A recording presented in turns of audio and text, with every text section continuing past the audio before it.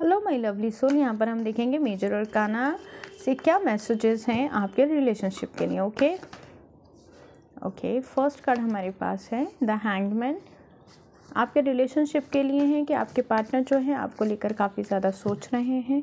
आपके बारे में काफ़ी ज़्यादा सोच रहे हैं आपके पार्टनर ओके डेथ आपके साथ जो रिश्ता ख़त्म किया था, उस रिश्ते को वापस से शुरू करना चाहते हैं।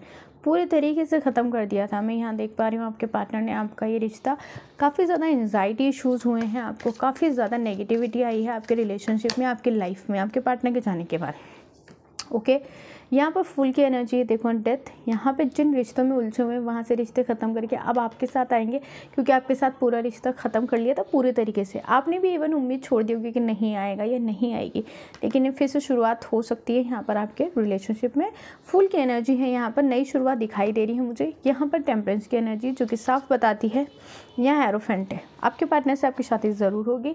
रीयूनियन होगा शिवजी माँ पार्वती की ब्लेसिंग से, ओके? नेगेटिव सोचना बिल्कुल बंद कर दीजिए।